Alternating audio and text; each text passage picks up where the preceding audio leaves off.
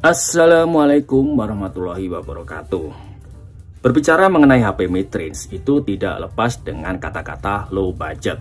Karena memang HP mid-range itu dirancang khusus buat mereka-mereka yang punya minim budget. Seperti HP yang ada di depan aku ini. Ini adalah produk dari Samsung yaitu Samsung Galaxy A03s. Dia mempunyai fitur-fitur yang menarik Terus harganya juga cuma satu jutaan saja. Seperti apa fitur-fitur yang ada di Samsung Galaxy A03s ini? Seperti biasa, sebelum kita lanjut ke videonya, kita bumpers dulu ya kan?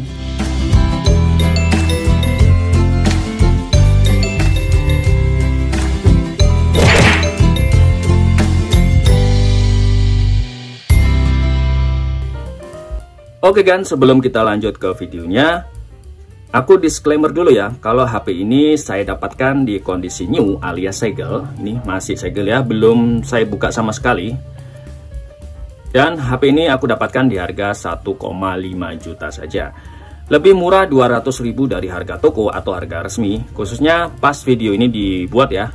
Itu harga resminya masih 1 juta 700. Wah, lebih hemat 200 ribu.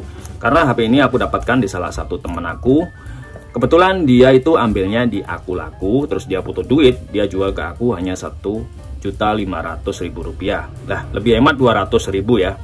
Oke, sebelum kita unboxing, kita lihat penampakan dosnya dulu. Di sini ada tulisan Galaxy A03s varian 4 per 64 GB. Di sini ada penampakan dari HP-nya.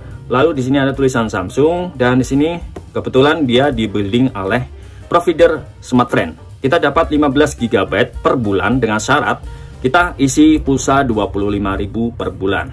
Oke, kita lanjut ke bagian belakang dan di sini ada perdana smartphone-nya ya. Terus kita lanjut ke sebelah sini. Di sini ada serial number-nya yaitu SMA037F per TS. Dan di sini ada tulisan ROM 64 GB per RAM 4 GB dan warna blue. Kebetulan ini adalah warnanya biru. Oke, langsung aja kita unboxing.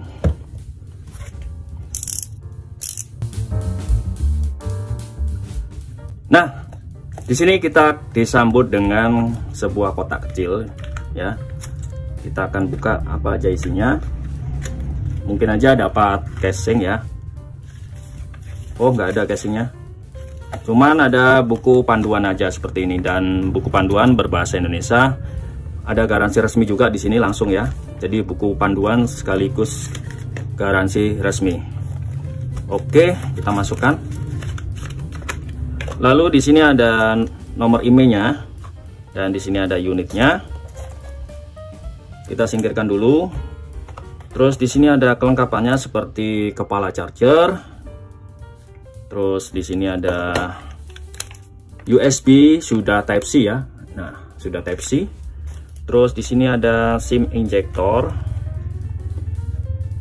Lalu di sini ada bentar ini. Tuh nggak dapet headset. Kirain dapat headset ya tumben Samsung nih. Nggak ngasih headset. Oke kita singkirkan dulu kelengkapannya supaya enak ya. Dan ini dia unitnya. Kita kletek dulu. Mana nih kleteknya?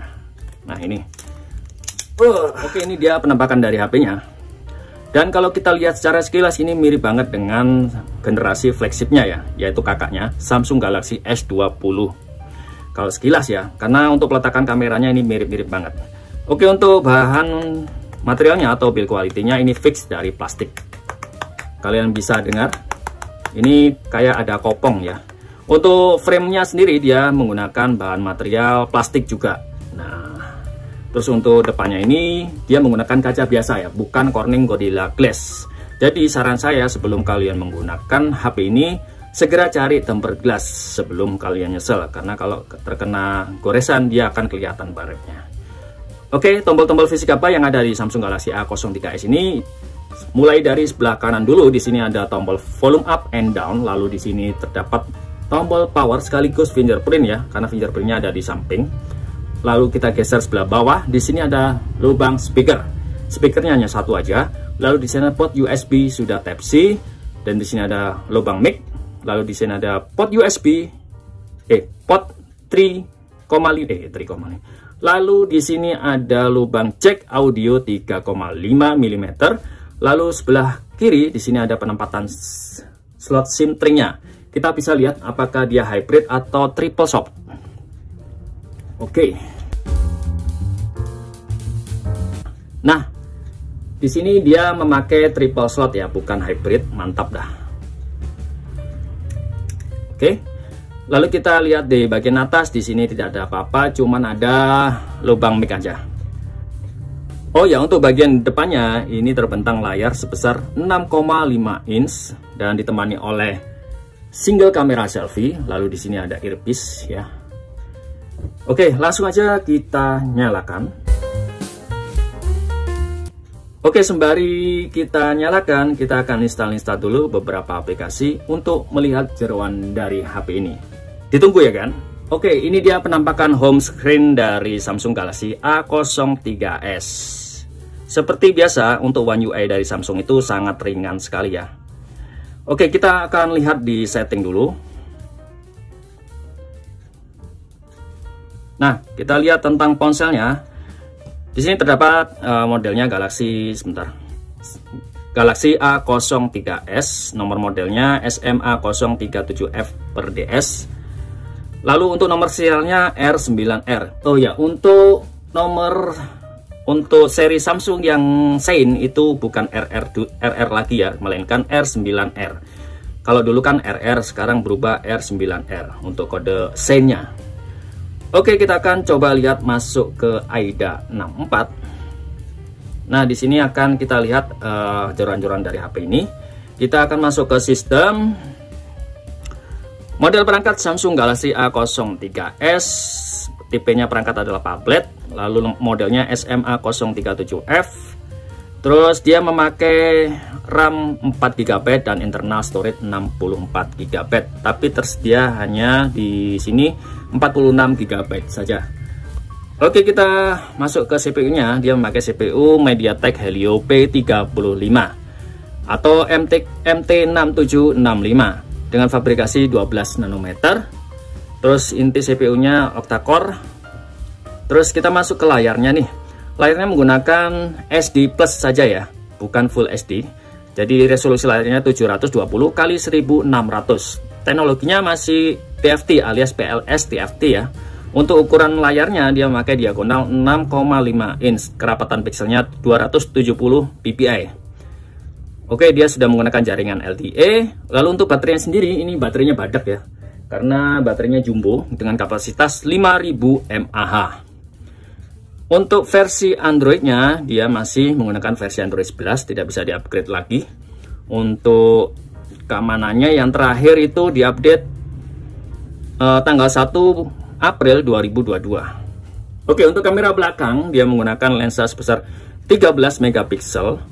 Dan untuk videonya sendiri dia hanya bisa merekam uh, dengan resolusi 1080 per 30 fps saja. Sangat disayangkan sekali ya untuk kamera depannya dia menggunakan resolusi 5 megapiksel saja. Oke untuk selanjutnya kita akan tes ke real drumnya. Apakah ada delay di touchscreen-nya.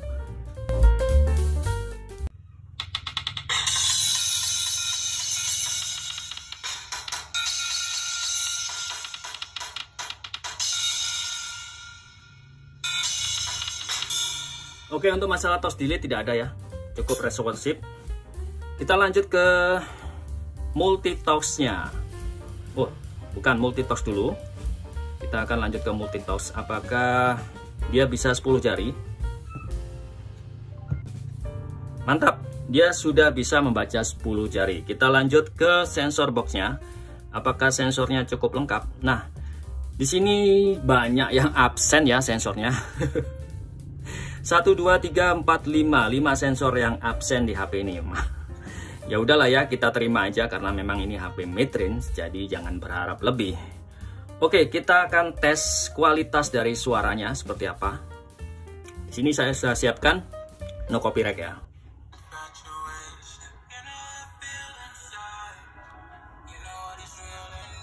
Ini sudah volume besar loh, ini sudah pol. Tapi kok suaranya kecil banget.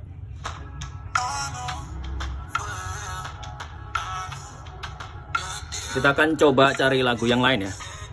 Ini suaranya kecil banget. Bentar iklan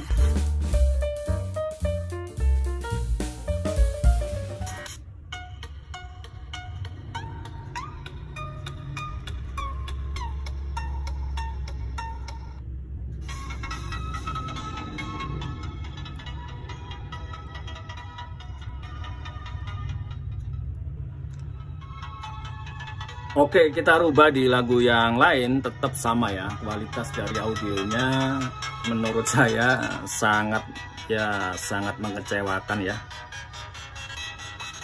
Kurang ya kurang full di anu kualitas dari suaranya. Jadi kayak setengah kayak setengah volumenya kayak dibikin setengah kalau apalagi kalau kita set ke setengah ya. nggak akan terdengar kecil sekali kita set yang volume paling tinggi hanya segini aja. Jadi ya untuk kualitas dari speakernya menurut saya ya sangat mengecewakan. Nah ini aku akan tes juga untuk kualitas dari layarnya gimana menurut kalian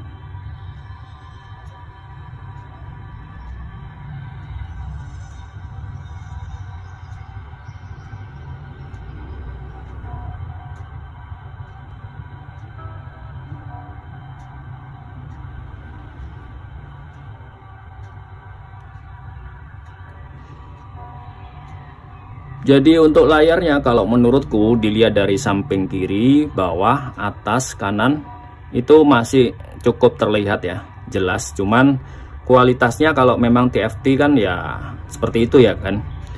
Jadi tidak sebagus Super AMOLED. Ya cukup diterima aja karena memang harganya yang murah ya.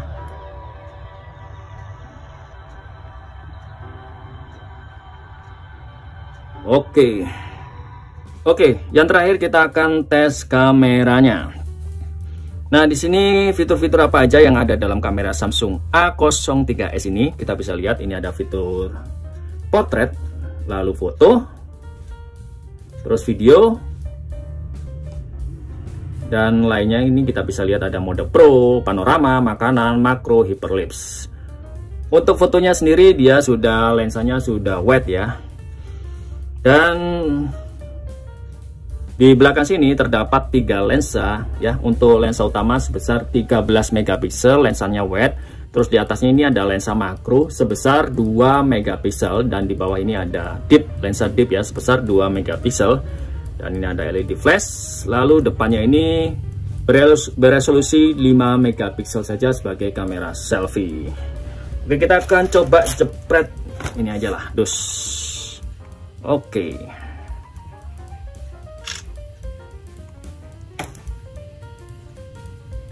Dan ini adalah hasilnya. Seperti ini ya. Ya untuk harga segitu lumayan lah ya. Jangan berharap lebih kalau di HP Midrange.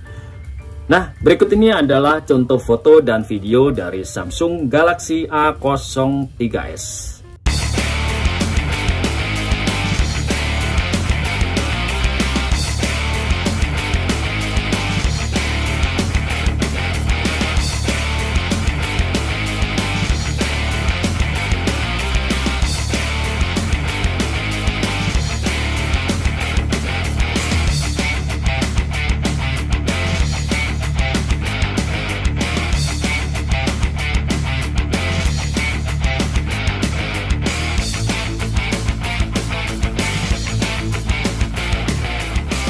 adalah hasil kamera depan dari Samsung Galaxy A03s.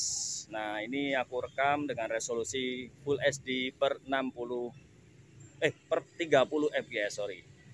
Jadi mentok di situ ya, resolusinya nggak bisa naik lagi. Gimana kualitas stabilisasinya dan kualitas audionya bisa kalian nilai sendiri. Dan ini kondisi di sore hari, jadi sekitar jam 5 kurang seperempat. Kita akan coba backlight. Oke. Lensanya ini lumayan wide ya. Jadi memudahkan kita untuk ngevlog buat kamera depan. Oke lah mantap. Oke Untuk kesimpulan dari video ini adalah jika kalian punya budget sekitar di bawah 2 juta atau alias low budget ya, jika kalian memiliki atau memiliki keinginan untuk membeli HP baru, ya ini saya sarankan untuk kalian beli.